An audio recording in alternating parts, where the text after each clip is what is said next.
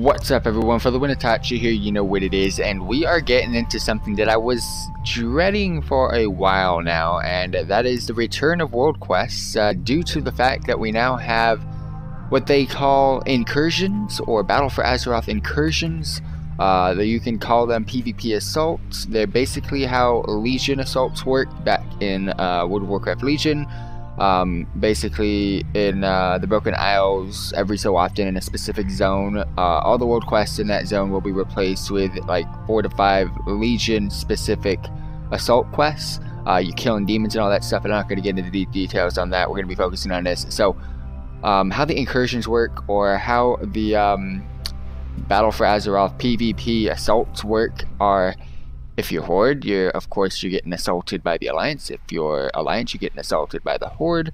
And in your faction-specific zones, you will get notified if there is a incursion going on, uh, with the enemy's faction symbol being located within that given zone. So as you can see, Zuldazar and Nazmir for the Horde currently empty right now, but Vol'dun, on the other hand, has an assault. It's an alliance symbol. So Vol'dun is under attack by the Alliance. Uh, there's a, currently a time left of 5 hours and 55 minutes. It'll tell you everything that you need to know. And then when you go deeper into the zone, you'll notice the world quests that are originally there, instead of how it used to be back in Legion Assault, so actually still active. Now I don't know if this is a bug or something, but I hope they don't change this because this is great. It gives people that really don't want to do these incursions for whatever reason an opportunity to just go do the other ones if they need to get their um, their I can't even think about it right now, but the thing on the bottom right of your map, that that that thing, that element of the goddamn game where you have to do your four quests. I can't think of it right now. Your emissary quest. There we go. Um, but whatever reason, we have just like it was in Legion, um, four to five uh, world quests that are specified for this assault. So the Alliance attacking a little bit in between the terrace of the Devoted and Shattered Harbor at this moment in time. We've got five different world quests, and I'm going to show you Unlike I did in Legion, I showed you every single world quest in the game. I'm not going to be doing that this time around. I've not done a world quest video since Legion and I don't want to. Um, I will be, however, showing you how this little assault event actually goes down, and I'll be showing it to you from the Vol'dun perspective. Again, on the Alliance, you got the same thing with Storm Stormsong, Drustvar, and Tiragarde Sound, but you'll see a Horde symbol there, basically showing you guys that there is a little uh, assault coming on from the Horde enemy. However, I'm on Horde, we've got the Alliance as our enemies, and we're going to go ahead and show you guys a little bit of a cinematic of me doing a couple of uh, world quests here and there, and uh, we'll see what's next.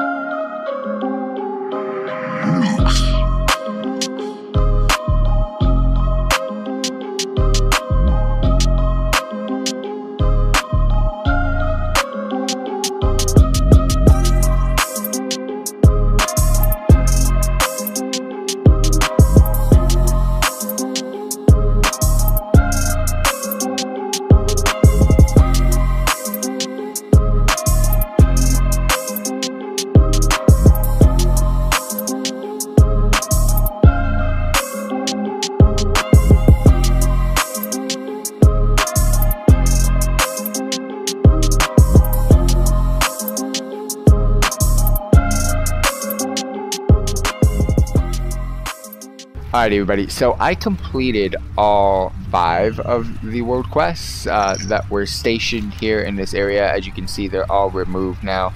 Uh, just to give you guys a quick heads up, these world quests for the assaults actually do go towards your emissary. Um, so, I mean, you can knock two birds in one stone. You can get the assault out of the way, as well as your emissary. Uh, also, again, um, most of the rewards from these world quests that I saw were either conquest points or they were, um, uh, what's it called? War resources. So they were war resources and conquest points. Thank you very much for the subs, by the way, guys. Um, so war resources and conquest points, as well as gold, were the main resources of, of rewards from these uh, world quests. And uh, we're not done here. Uh, we've completed the quest uh, to uh, to complete four out of four world quests, which is the quest that you get once you adventure into the zone.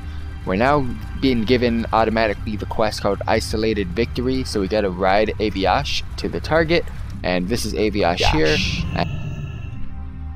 Again, thanks for subscribing, uh, Bladder Die Blad. nice name.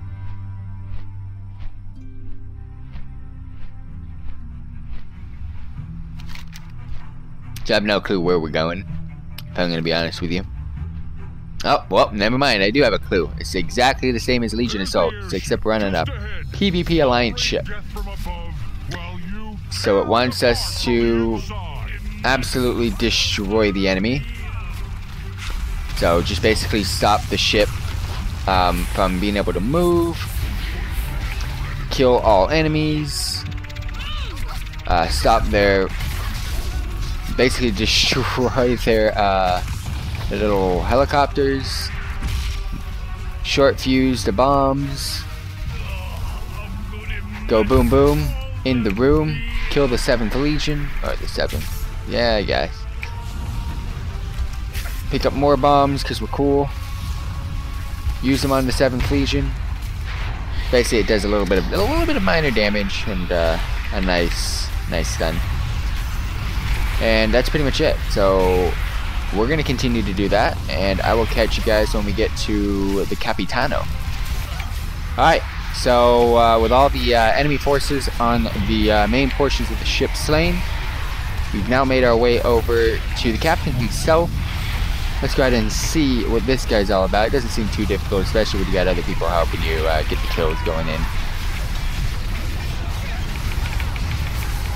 But the uh, the enemy alliance, man, gotta stay away from us because uh, we're gonna be coming in hard. And then now we gotta ride Aviash to safety. So back to Aviash we go. Uh, not too sure if that's just gonna be it because I remember back in Legion assaults we had some action with like a huge three-man scenario, but this this is all solo content, PvP wise. So with the ship taken down, everything removed, everything destroyed, uh, I guess we can now turn in this quest. Now with the Alliance pushed back and their ship destroyed as well as their forces in Vol'dun destroyed and dismantled as well, we now go to the Voldunai Emissary to turn in this quest that we were given at the beginning of uh, zoning into Vol'dun.